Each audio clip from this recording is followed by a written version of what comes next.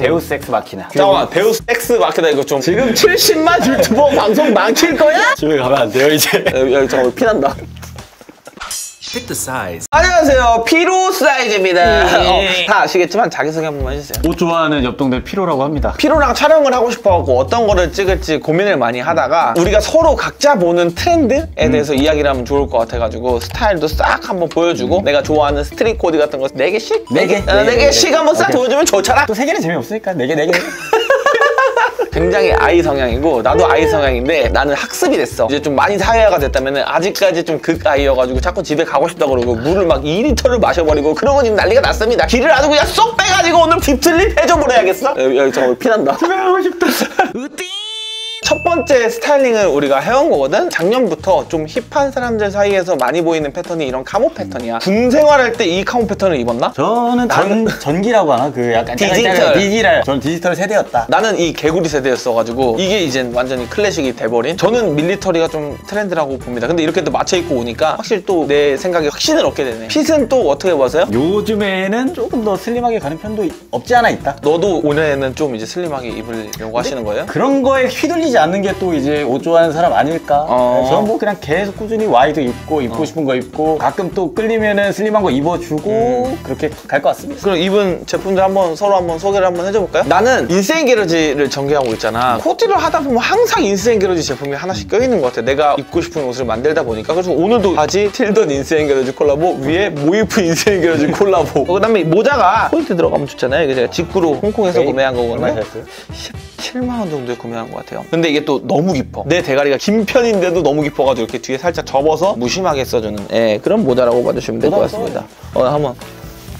와 얼굴 반을 가려버리네. 야 갑자기 쓰기 싫어지는데? 그리고 나는 또 그렇게 생각해. 이렇게 패턴이 들어간 아이템을 상의에 매치하는 게 심리적으로 조금 더 부담스러워. 그래서 패턴물을 처음 접한 사람들은 무조건 바지, 신발 얼굴이랑 많이 떨어져 있는 곳에서부터 시작하는 게 좋고 난 또 개인적으로 드는 생각인데 옷에만 계속 집중을 하면서 스타일링을 해봤자 이게 사람 자체가 힙스럽지 않으면은 그게 안 되거든? 그러니까 헤어스타일이나 이런 거에 좀 힙스러운 거 흘려주는 거. 귀걸이 봐봐. 어, 이런 귀걸이가 있어줘야 돼. 저는 고름이 자꾸 차가지고 뭐 못하고 있는데 말은 이렇게 했지만 바꿀 수 없는 환경이다. 학생분들 뭐 바꾸기 쉽지 않잖아요. 그럴 때 모자라도 써서 이렇게 좀 포인트를 주면은 전 너무 좋은 것 같아요. 그리고 바지 작년부터 많이 입던 게 바로 이런 카고 팬츠 이거 진짜 국밥 팬츠잖아요 아, 거 진짜 국밥이고. 어, 어디 제품이죠? 여기 애드 카고 팬츠라든지 이런 데가 이제 디테일이 많이 들어서 가격이 좀 비싸지잖아요. 맞아. 근데 이렇게 가성비를 끌고 가도 나쁘지 않은 카테고리가 저는 카고 팬츠라고 생각합니다. 그리고 이거 너무 예쁘다 어, 왜 이거 뒤가 너무 예쁜데?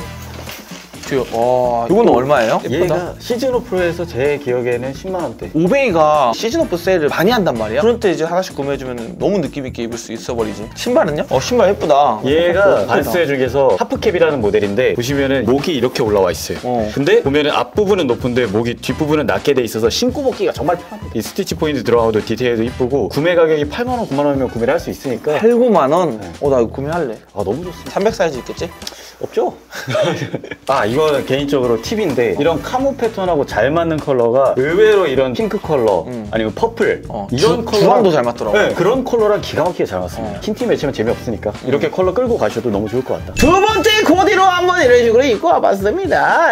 예. 고프코어 감성. 고프코어 감성이 살짝 담겨 있는데 바지 핏은 굉장히 hip스럽게. 모자에서 또 이제 포인트를 싹 버린 거야. 이런 코디들이 트렌드의 집합체라고 나는 생각을 해가지고 바지 패턴도 이런 게 앞서가는 해외 브랜드에서 종종 찾아볼 수 있는 그래픽 이고 고프코어 아노락에다가 어디 거야? 되게 예쁜데 이거. 이거는 미즈노랑 일코로서 콜라보 제품인데 굳이 이 제품 아니더라도 아노락을 점점 많이 사가지고 입고 있더라고 요새 보니까 이런 거 한번 입어주고 모자는 MPQ란 모자인데 제주한테 최고야 진짜 잘 나와요. 어 진짜 잘하더라 그 wizard cap이라고 MPQ 제품도 있는데 어. 그것도 한번 보시면 좋을 것 같아요. 아, 디테일 예. 굉장히 재밌습니다. 아 좋습니다 예. 요 코디 한번 설명 부탁드릴게요 제가 또 여기 온다고 또 아끼는 것만 가져왔어요. 야 윈드 브레이커를 안쪽에 좀 레이어드해서 입었고 어. 자켓 같은 경우 work 자켓 제가 가장 좋아하는 브랜드 Carhartt WIP 이렇게 입어주고 올해 이 마젠타 컬러 굉장히 많이 보이잖아요. 이제 이 자켓 안쪽에 레이어드 해가지고 한번 스타일링을 한번 해봤습니다. 어, 네. 바지는 아까 그거야? 얘는 제가 좋아하는 브랜드인데 여기도 어. Extra Ordinary. Ordinary라고 예. 예. 보시면 여기 이렇게 포켓이 4개가 앞뒤로 달려있는 입체적인 패턴을 가지고 있는 팬츠예요 얘도 한번 제가 필살기로 한번 가져와 봤고 그리고 제 코디에서 하나를 조금 포인트로 뽑자면은 이제 이 마젠타 컬러만 얘만 입으면 좀 심심하잖아요 어. 그래서 컬러적으로 여기 에어팬이 그린 컬러로 이렇게 맞춰줬다 네. 아, 예, 괜찮네요. 내가 봤을 때 칼하트가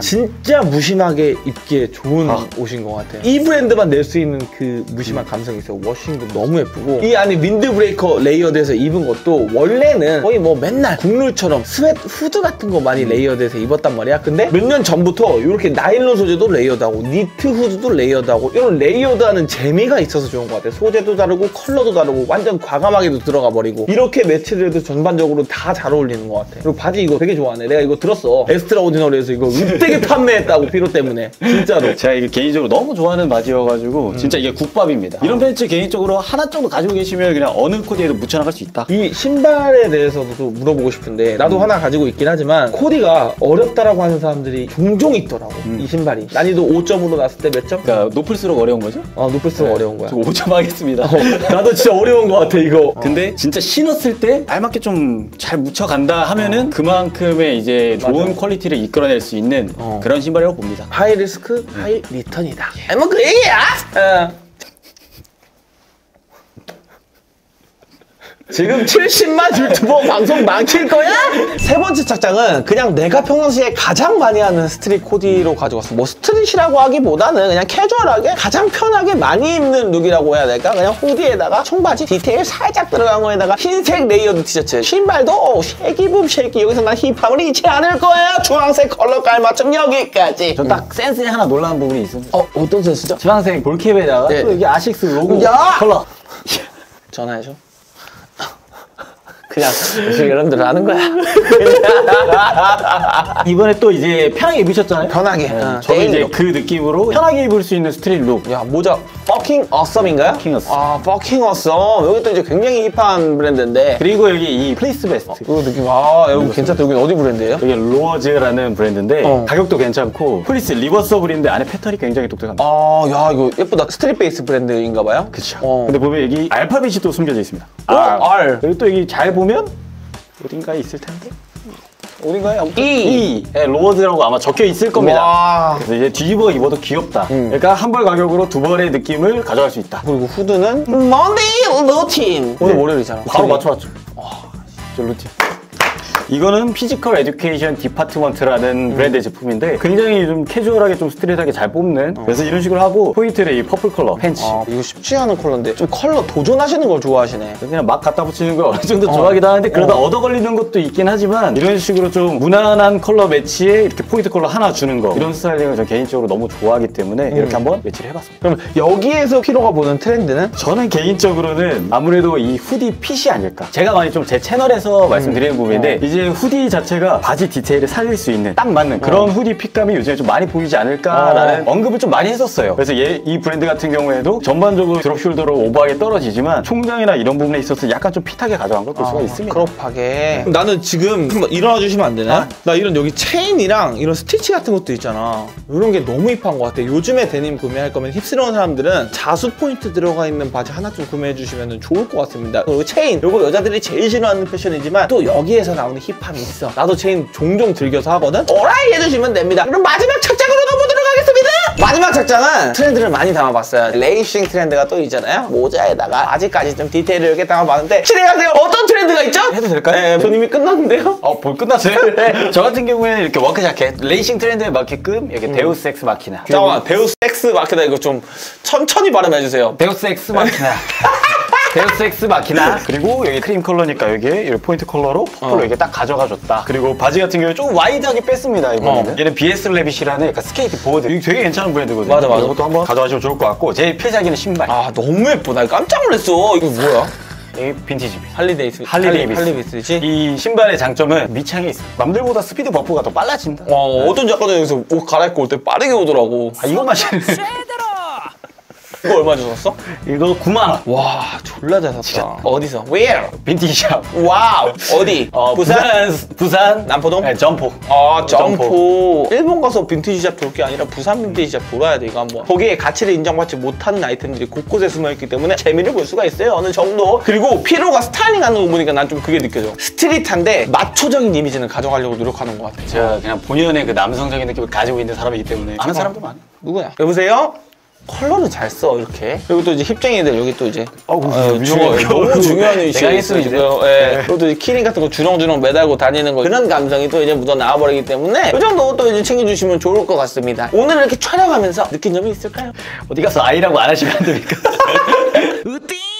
아, 네, 구독자들 중에서도 이런 street 코디 좋아하는 친구들이 꽤나 많아서 내가 추천해주는 street 코디 말고 또 다른 느낌의, 다른 감성의 street 코디를 원하는 사람들은 여기 코디 메이커피로 street 코디를 좋아한다면 이쪽으로 싹 한번 가세요. 그렇다고 여기를 아예 가시면 안 되고 이렇게 두 개를 이렇게 순환을 시켜버려야 돼.